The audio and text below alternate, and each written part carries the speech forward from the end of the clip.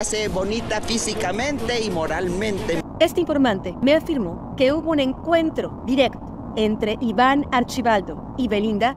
La siempre carismática Laura León, mejor conocida como La Tesorito, ha vuelto a brillar con su sentido del humor y su toque peculiar de sabiduría popular son amores pasajeros. Lo vi, me gustó, me lo probé, me quedó, me lo compré. Pues en esta ocasión la cantante decidió compartir un consejo inesperado para Belinda en medio del escándalo que rodea a la estrella pop por una supuesta deuda de varios meses de renta con Verónica del Castillo, hermana de la famosa actriz Kate del Castillo. Y cómo no, lanzándole una indirecta sobre los rumores de su relación con el Chapito. Y es que con su inconfundible estilo, la actriz y cantante mexicana no se contuvo al comentar la situación en una entrevista reciente del Gordo y la Flaca aprovechó para darle un pequeño jalón de orejas a Belinda, sugiriendo que la cantante debería saldar cuanto antes su deuda y evitar así malas vibras en la vida.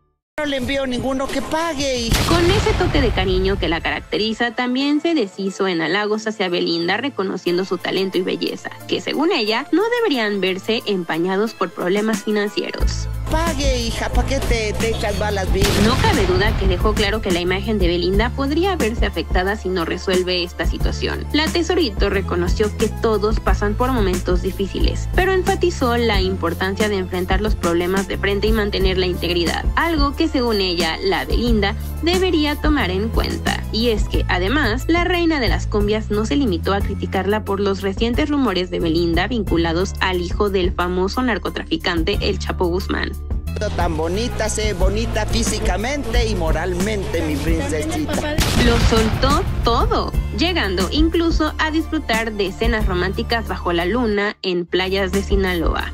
Iván Guzmán Salazar, le decía a usted que estuvo con Belinda, la cantante. Ante la reciente ola de rumores, la Barbie mexicana decidió tomar cartas en el asunto y a través de sus representantes, la cantante de 34 años negó rotundamente cualquier relación con Iván Archibaldo Guzmán Salazar. La Oficina de Relaciones Públicas de la actriz fue clara al declarar en la revista Quién que desconocen completamente esa información que no tiene veracidad, pues parece que Laura León piensa que Belly debería ser bonita no solo externamente, sino también por dentro. Y es que resulta que la reconocida periodista Anabel Hernández, periodista de narcotraficantes, encendió la mecha al afirmar que la cantante habría mantenido una cercana relación con el hijo del famoso narcotraficante. Pero es que las declaraciones de Belinda no fueron suficientes para que Laura León le lanzara una dura crítica con respecto a su moral hace bonita físicamente y moralmente. ¡Qué fuerte! Mientras tanto, la polémica sigue creciendo y los seguidores de ambas artistas esperan con ansias saber si Belinda tomará en cuenta el consejo de Laura León y resolverá este embrollo. O si, como suele suceder en el mundo del espectáculo,